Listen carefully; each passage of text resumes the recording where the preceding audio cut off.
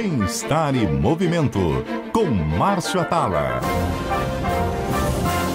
Olá pessoal, o Bem-Estar em Movimento de hoje é sobre corrida, uma das práticas mais democráticas do mundo. Isso porque com tênis em qualquer lugar você faz. Claro, é um esporte que cresceu muito. Só para se ter uma ideia, em 2003, na Maratona do Rio, tinham 3 mil inscritos. 2018, é, a última pré-pandemia, 40 mil inscritos. Você vê como cresceu. É, número de assessorias é, não param de multiplicar. E para falar sobre esse assunto hoje, eu convidei a professora Ana Luísa Castro, que é especialista em treinamento de corrida, tem um grupo só para mulheres. Bem-vinda, Ana. Obrigada, Márcio, pelo convite. É, Olá, é, ouvintes da CBN.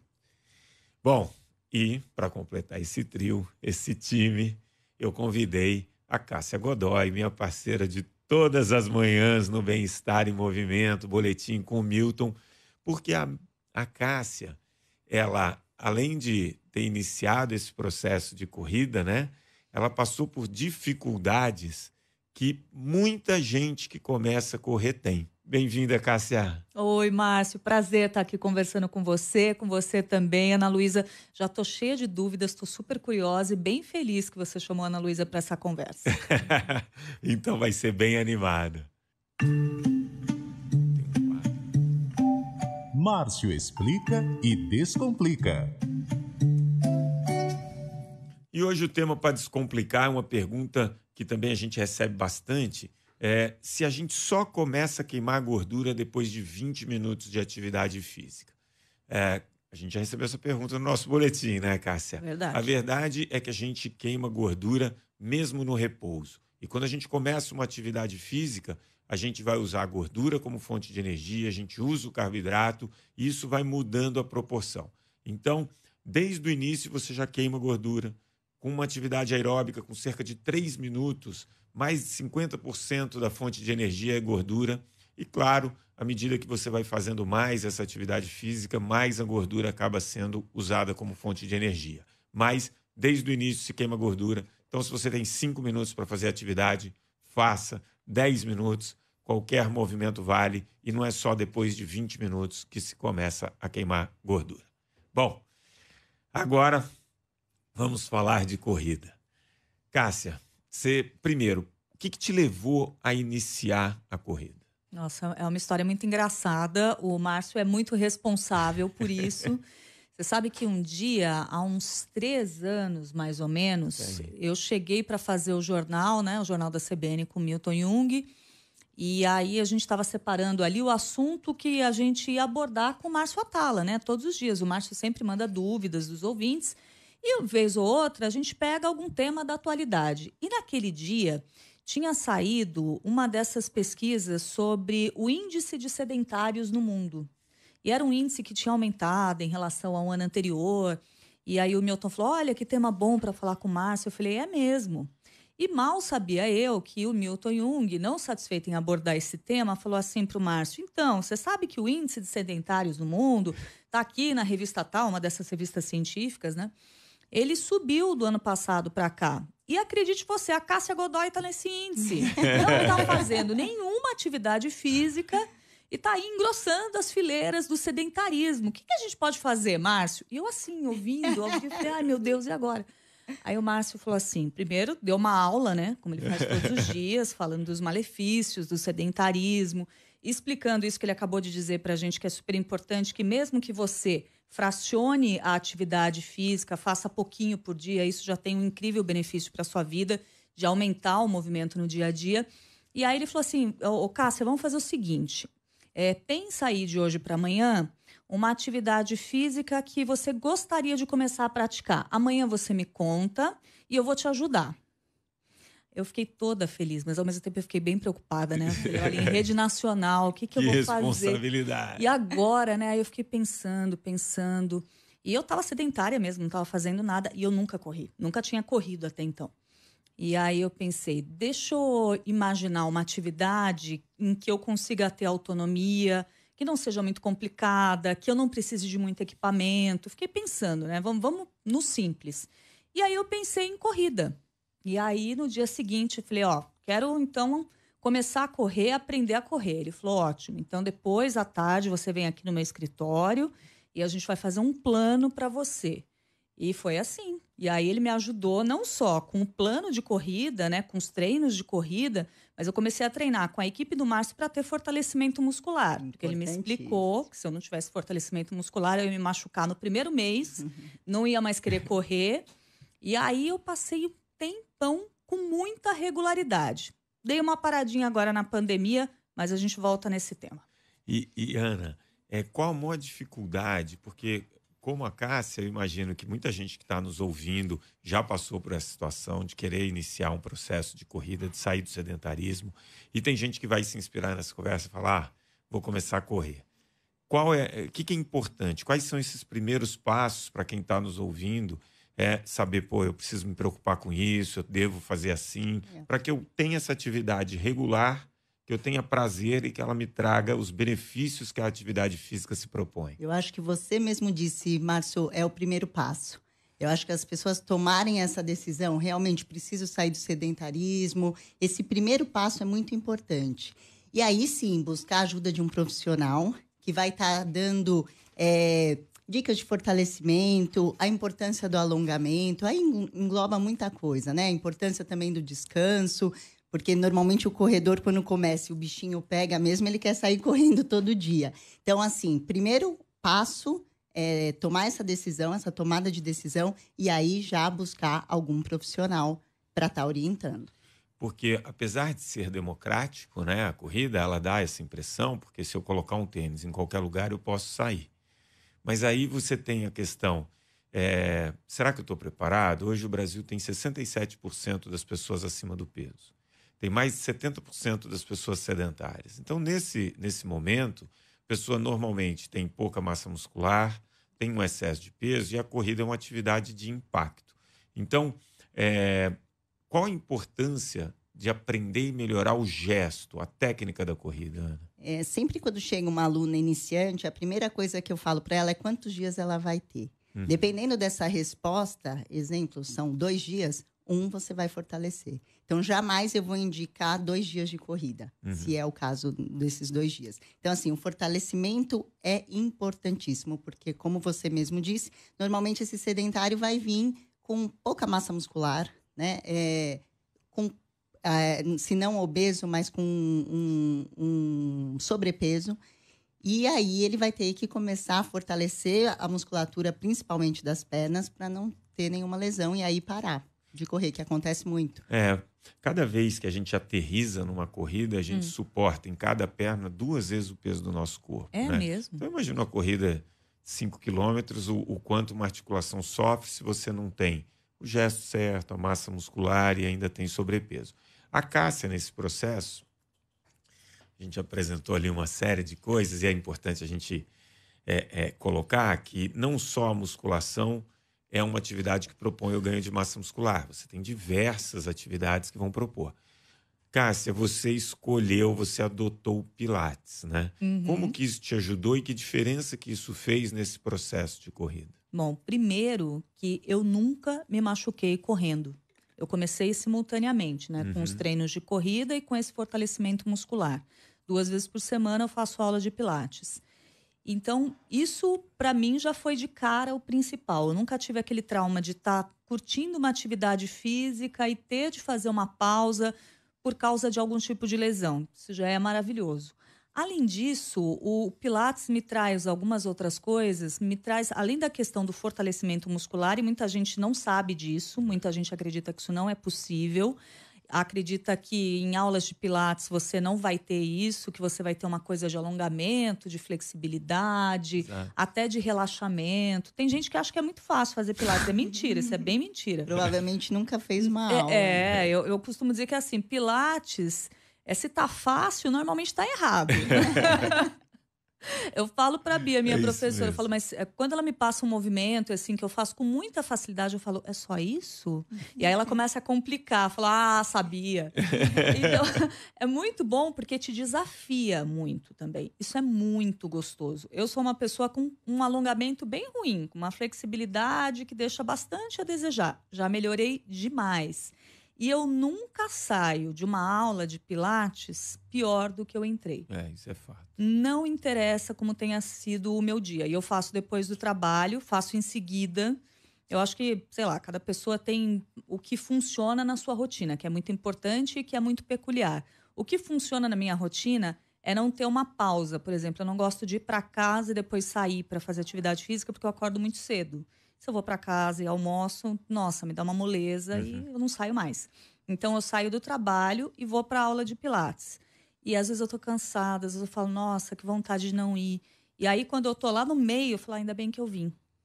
Eu sempre saio melhor do que eu cheguei. E, e, a Cássia, ela passou por um processo. Eu posso falar porque Pode. eu acompanhei, né? Mas é como a grande maioria das pessoas, a Cássia chegou, iniciou esse processo é, sem conseguir correr uma distância continuamente. É, e aí, óbvio, você tem algumas maneiras como você trabalha até ela conseguir ou a pessoa conseguir esse condicionamento. Quais são as principais é, dicas para essas pessoas que começaram a correr e não conseguem, por exemplo, correr um, um quilômetro e meio de forma contínua? Márcio, a ideia, na verdade, é que seja uma coisa é, bem aos poucos mesmo, né? Então, um aluno que chega aqui nunca andou, por mais até que ele conseguisse correr 20 minutos, a gente até orienta que ele não faça. Hum. Porque às vezes até a parte cardio dele está preparada, às vezes é uma pessoa que já faz outro tipo de atividade, mas as articulações, os tendões, os ligamentos não estão preparados. Então, a ideia, na verdade, é que faça esse trabalho é, bem aos poucos, com acompanhamento, e aí sim ir direto. Então, a gente muitas vezes até dá uma. É, intercalando com caminhada, mesmo sobrando fôlego. Então, corre três, anda dois, corre três, fica por um tempo assim, até que aos poucos a gente vai soltando ele para uma atividade contínua, digamos assim, que vai correr 30 minutos ou 5 quilômetros direto. Você passou por isso, né, Cássia? Passei, passei por isso. Eu tinha dificuldade de manter um ritmo durante um bom tempo correndo. É, o que me ajudou nesse processo é que assim, eu percebia isso, inclusive porque nesse período eu comecei a correr com alguns amigos, inclusive gente que trabalha aqui na rádio. E aí aquela turma no domingo era muito gostoso. E eu percebia que algumas pessoas é como se elas tivessem um, entre aspas, talento nato para corrida. Parecia que elas tinham sido assim, sei lá, talhadas para corrida, sabe? Não tinha dificuldade. Falei, nossa, nunca correu, corre direto, sei lá, 3 quilômetros. Eu tinha bastante dificuldade com isso. E chegou uma hora que eu falei, não, eu vou no meu ritmo, eu vou me perdoar. O meu pace nunca foi maravilhoso. E... Ela fala até pace, ah, ela é corredora mesmo. Tem que aprender. E aí eu comecei a fazer corridas de rua. E fui aumentando aos poucos, ia me inscrevendo. E é muito gostoso. O ambiente de corrida de rua é uma delícia. Eu sinto muita falta disso agora nesse período de pandemia. Mas assim, é... eu resolvi, eu entendi que o meu perfil era de uma pessoa que queria manter a regularidade. Eu não estava preocupada com velocidade e nem de ter a capacidade de correr muitos quilômetros seguidos, uhum. mantendo um super ritmo. O que eu tentava era manter a regularidade. Tanto que nessa época que a gente começou, isso foi pré-pandemia, é, eu tinha uma viagem. Eu fui para Nova Orleans e estava quente lá, estava um calorão. E eu saía todos os dias e dava uma corridinha de manhã. E eu tinha que acordar cedo, falar nas férias. Olha isso, eu acordo hábito, quatro da manhã né? todo dia. Pra que, senhor? Pra que que eu vou acordar? Mas eu tinha que acordar cedo, senão eu não aguentava, que era muito quente. muito quente. Mas eu acordava e corria um pouco e eu me sentia ótima. Você sabe que a, a Cássia tocou num ponto que me remeteu aqui a um dos medidas certas, que foi quando tinha quatro participantes. É, e aí teve um momento ali que os quatro foram para a esteira. E eu olhei o Pochá correndo, falei, eu, eu lembro dessa frase que ele brinca comigo até hoje. Falei, você é um keniano disfarçado. Porque ele mesmo fora de ritmo, a técnica era tão bonita. Você via ele correndo na esteira, não fazia um barulho. E aí você vê como é importante a técnica. Às vezes a pessoa nem tem um condicionamento cardiorrespiratório tão bom, mas como ela gasta tão pouca energia para fazer aquele movimento, ela consegue desempenhar melhor.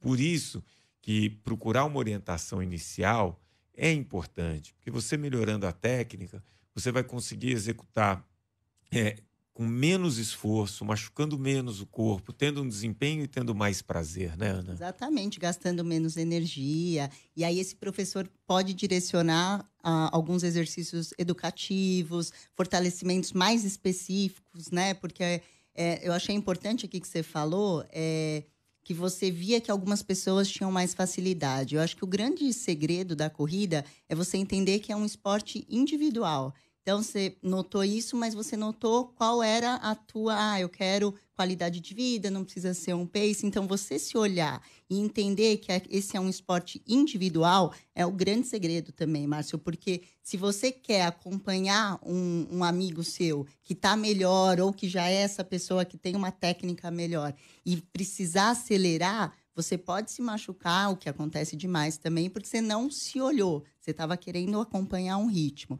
Então, assim, buscar uma assessoria justamente para você encontrar o seu ritmo, corrigir a postura, fazer os, os exercícios específicos para fortalecer, e aí você achou a, a fórmula mágica para não se machucar e o que a gente fala até que é o correr para sempre. É. Eu acho lindo ver alguém acima de 60, 70, 80 correndo com saúde, com qualidade de vida. Temos o desafio do ouvinte, lembrando que você também pode participar, bem-estar@cbn.com.br ou arroba cbnoficial arroba Márcio Atala.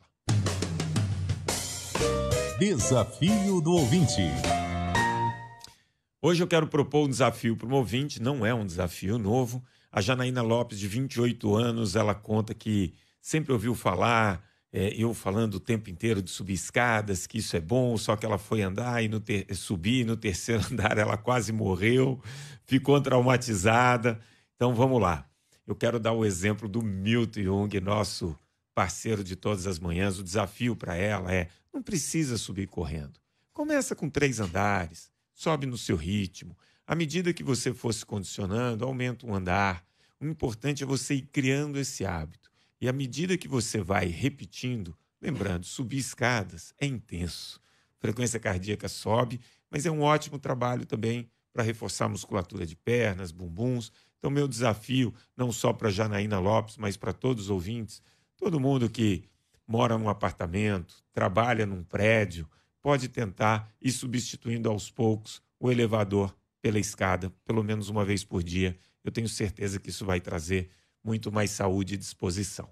Agora vamos, vamos falar de corrida pegando naquele gancho que você estava falando da, do correr para sempre. Qual a importância de você ter pequenos objetivos, mas objetivos reais, alcançáveis? Perfeito. Eu acho que é, é isso, Márcio. É você é, planejar o que é possível, né? Acabei de começar a correr, é, eu escuto isso, inclusive de iniciantes, Ana, quero correr uma maratona.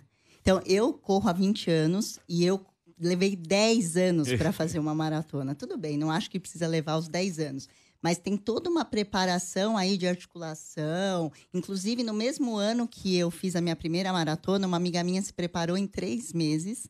Ela fez a maratona e nunca mais correu da vida dela. De verdade, porque machucou o joelho muito é. sério. Hoje ela é instrutora, grande amiga minha de yoga. Mas ali eu entendi que é isso. Existe um tempo que seu corpo precisa para aquela, aquela distância, preparar para aquele objetivo. Hum. Então, essas metas precisam ser reais, justamente para terem novas metas, né? Então, começo, ah, meu, meu objetivo é 5 quilômetros. A gente mesmo, na equipe, orienta isso, né? É, conquistar é, cada vitória, é, ficar alegre com cada vitória e, aos poucos, se é o objetivo da pessoa, ir mais para frente, né? Então, tentar 10 quilômetros. Então, depois de algum tempo, de alguns anos, eu diria tentar uma meia maratona. Então, é muito importante valorizar e colocar pequenos ajustes aí, pequenas motivações durante o dia para você conseguir o objetivo final. Qual foi seu, sua primeira mini meta?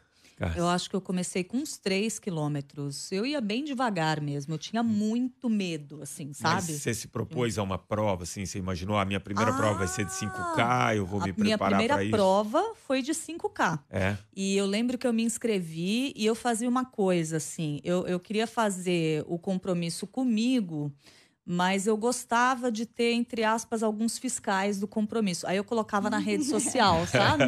Eu lembro que eu coloquei ali a minha fichinha da primeira prova que eu fiz. Foi uma corrida muito legal, beneficente, e era de 5 quilômetros. E eu não corri o tempo todo 5 quilômetros. Em alguns momentos da prova, eu caminhei, e tudo bem. E tudo bem. Eu queria concluir a prova. Falei, eu não quero ficar no meio do caminho correr igual uma desesperada. No começo, isso foi uma coisa também que eu falei, bom, que eu percebi que todas as vezes que eu começava muito afoita e eu tentava correr muito no começo, chegava no final, a, a minha vida estava um inferno. Esse é um erro muito comum de iniciante, né? É. Porque você está descansado, tua frequência é baixinha, então você fala, nossa, hoje é meu dia. Isso. Né? E vai o primeiro quilômetro, vai o segundo, hoje eu estou inspirada. E aí chega uma hora que você não consegue manter aquele ritmo, porque o que a gente orienta justamente é isso: começar bem devagar, dependendo do, do iniciante, até começar com uma caminhada boa para aquecer e aí sim ir desenvolvendo a corrida. E, e o fato de você estar tá inscrita numa prova de 5K, isso te motivou a não faltar os treinos, a ter mais regularidade? Sim, nossa, me motivou demais. Porque eu sabia que ao final daquele mês eu ia ter que fazer os 5 quilômetros, mesmo sabendo que eu poderia caminhar um pouco no meio, como de fato eu fiz, e sem problema. Mas, nossa, foi muito motivador. E eu fui aumentando. Então, a minha primeira prova foi de 5 quilômetros, eu fiz mais provas de 5 quilômetros. Em São Paulo, é uma maravilha, né? Porque, tirando esse período da pandemia, se você quiser fazer uma prova, se você quisesse fazer uma prova todo fim de semana, você poderia. E aí eu fiz várias de 5 quilômetros, depois eu fiz uma de 7, eu fiz uma de 10. E o máximo que eu corri em prova de rua foram 14 quilômetros, que foi bem difícil. Bem difícil. Assim, corrida nunca foi fácil para mim. Acho que quando eu comecei, eu não tinha muita ideia, assim, mas eu imaginava que chegava uma hora que ficava fácil. eu chegou. vejo as pessoas, é tão bonito. É bonito, não é fácil, mas é gostoso, gente, acredite. Não, não é fácil, quer dizer, não sei se para todo mundo é assim, mas para mim nunca foi. E aí eu quero aproveitar, Ana, que fazer uma pergunta. Me Boa. empresta um pouco. Lógico. Ô, Ana, eu acho que tem muita gente nessa situação, né? Com a pandemia, eu parei de correr na rua. É, agora eu tomei a primeira dose da vacina, quero voltar a correr com todo cuidado, de máscara, sozinha, tudo. Mas, de fato, eu parei com aquele ritmo que eu tinha. Não, não, não corro mais daquele jeito há muito tempo. Como que é agora para essa retomada? A gente tem uma memória disso, nosso corpo? Como que funciona para quem quiser retomar?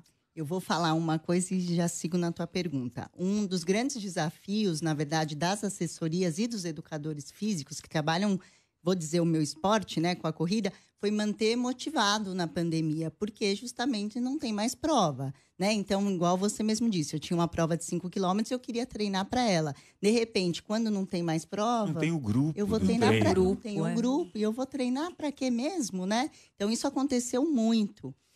Uh, a retomada, com certeza, vai ser muito próxima de quando você começou, mas o grande barato é porque tem memória sim. Então, vai ser muito mais fácil. Então, teoricamente, você vai começar de novo nos três minutos correndo, dois minutos andando, mas você vai fazer isso de forma muito mais rápida, porque sim tem memória, e muito mais é, fácil a progressão, né? Então, que você demorou provavelmente para correr 5 quilômetros antes, você vai fazer isso de forma mais rápida. E com a vantagem que ela retomou o Pilates. O Pilates, né? sem dúvida, continuou fortalecendo. Mais, mais protegido. A gente está falando muito de corrida, muito de desempenho, mas eu quero falar, fazer uma pergunta para a Cássia, e aí você completa com a experiência que você tem das suas alunas. Hum. A gente fala muito desses benefícios da corrida, mas como que ela melhorou, por exemplo, o seu humor, é, o seu estado de alerta, se melhorou o seu sono. Quais os benefícios que a corrida trouxe para o seu dia a dia? Esquece performance, esquece composição corporal. Sono uh, foi muito claro, assim. É, a corrida te dá um cansaço bom. Então, o, os dias que eu corria era e até é, as pessoas achavam que eu estava louca quando eu comecei a correr porque eu acordo muito cedo de segunda a sexta-feira e dois sábados por mês. Então, para dormir até tarde, eu tenho dois sábados por mês e os quatro domingos. Os outros dias é madrugada mesmo. E o meu treino longo de corrida na rua era domingo de manhã. Então, numa semana que eu tivesse trabalhado todos os dias e tivesse feito plantão no sábado, a pessoa falava: não acredito que no único dia da semana Você vai correr. você vai acordar cedo para correr. Eu falei: eu vou, porque estava no verão. Uhum. Se eu for acordar tarde, é um calorão, eu não aguento, me prejudica.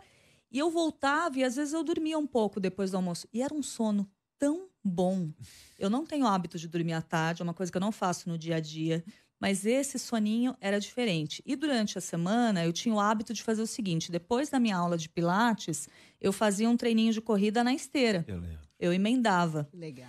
E nesses dias também, à noite, aí eu chegava em casa, fazia as minhas coisas, demorava um pouco ainda para dormir. Mas o meu sono melhorou muito. Em geral, não tenho problemas para dormir.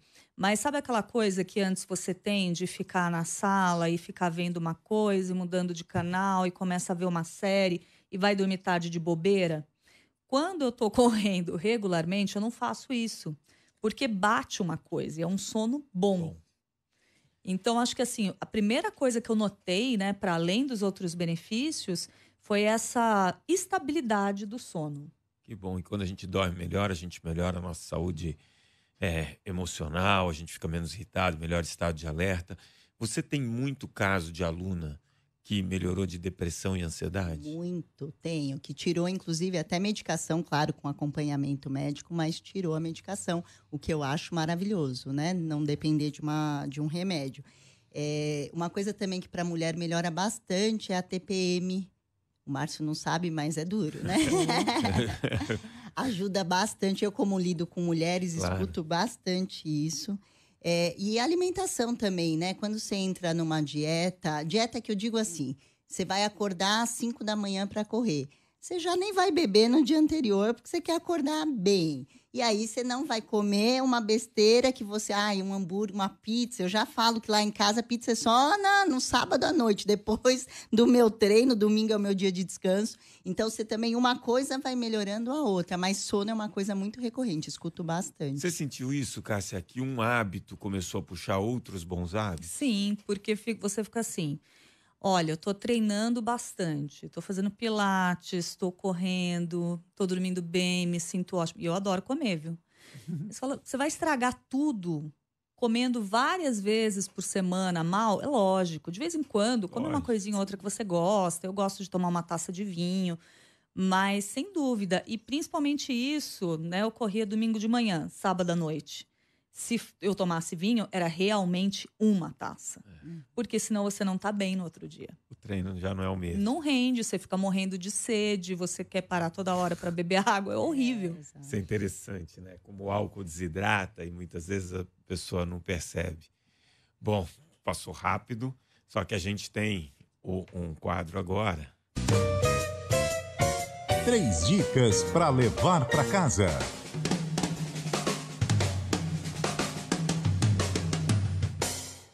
Agora a gente tem que entregar aqui para quem ficou nos ouvindo três dicas assim que vão ser matadoras para ou começar a correr ou continuar a corrida com qualidade. Ana, primeira.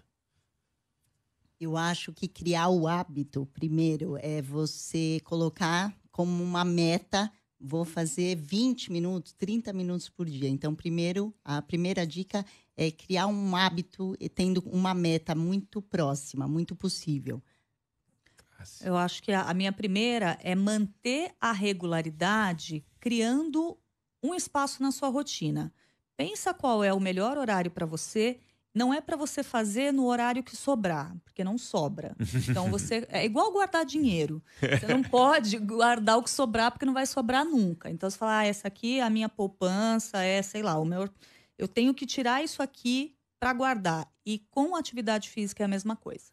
Tá, minha dica é procure um profissional, porque a programação vai fazer toda a diferença e você vai poder é, praticar a corrida sem sofrer, sem se machucar, podendo levar para o resto da vida. É, primeiro, além de agradecer a Ana e a Cássia, eu torço que esse programa seja o pontapé para que a Cássia volte a correr. Tô pensando isso agora. para a gente voltar depois, porque, pô, passou muito rápido. para a gente falar mais sobre esse assunto que é a corrida, que é uma febre que as pessoas realmente procuram.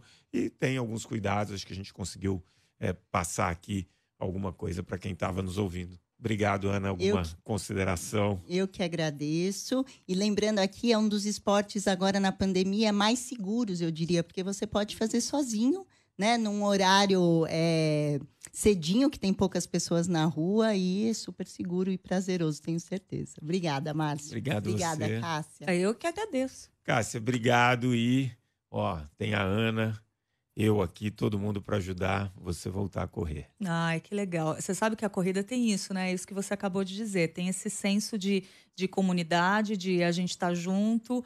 E é exatamente assim que eu me sinto. Agradeço demais por ter estado aqui hoje com vocês falando sobre esse assunto que é super importante para mim. E eu posso ser uma dessas fiscais, se você Oba, quiser. Eu quero, já aceitei. Boa. O Bem-Estar em Movimento de hoje fica por aqui. Se gostou do papo, compartilhe com seus amigos, baixe agora mesmo e ouça o podcast, que já está disponível em todas as plataformas de áudio e no aplicativo da CBN. O programa de hoje teve a produção de Joana Cafuri, do Bruno Teixeira, a edição de Rafael Furugem e os trabalhos técnicos de Juliano Fonseca. Bom fim de semana, abraço a todos e boa corrida. Bem-estar e movimento com Márcio Atala.